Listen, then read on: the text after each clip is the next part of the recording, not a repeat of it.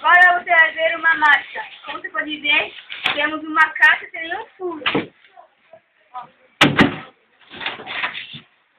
Agora meu assistente vai entrar nessa caixa.